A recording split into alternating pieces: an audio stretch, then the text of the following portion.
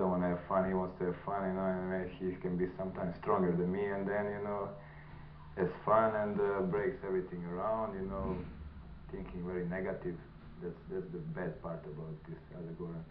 He can be very negative. But, but he says you're negative. What, what do you say to that? Yeah, I am maybe, but he is also, you know, he's like, uh, like a little girl, you know, he's saying it, and uh, I say, come on, man, be a man, do this, come on, let's break some records, let's argue with umpires, Jesus.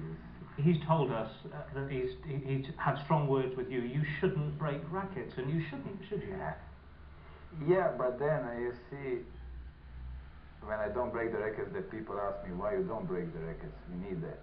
And then when I break the records, then they ask me why you break the records. So how, who are you going to please? The nice Goran, the people, the me, the, so many guys to please or not to please. So I'm in the top position.